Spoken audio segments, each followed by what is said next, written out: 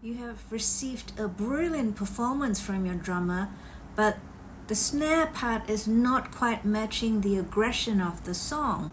You can try and compress the part, but there are other artifacts, bleed ins, in the recording. Here's one way you can resolve it. So this is the snare track in question.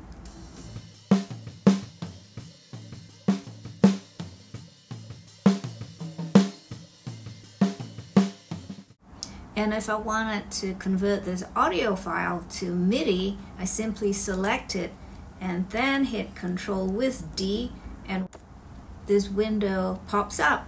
You will see that uh, various components of the drum kit are made available for effecting and I'm looking to capture the snare. So I select snare and you have an option of replacement where the original WAV file is muted or to double the original. I want to replace, so I leave it at replacement and I observe that the relative threshold is zero. At zero, uh, only one snare has been captured as you can see here. So let's move the threshold down and see if we can capture the other snares. So gently, gradually move it and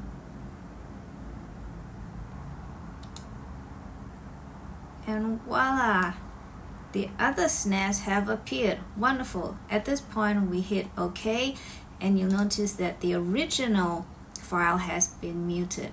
At this point we may also audition a library of snares that Logic Pro has kindly offered us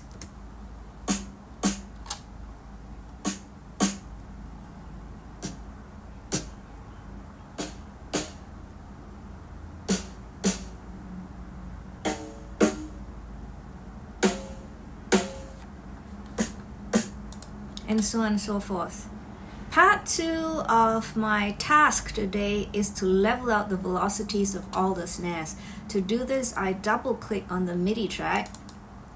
I select all the notes in question, but before I do, you'll notice that this particular snare hit is at velocity 45. This is 55. This one is 74. So let's go ahead and level them out. I select them all. I go to function, MIDI transform, fixed velocity. So I want all of them to be 100, a velocity of 100. I've already selected 100 in the pop-up window and I've also selected all the notes so I just go ahead to operate only and close the window and voila you see that all the notes are 100 and they should sound like this.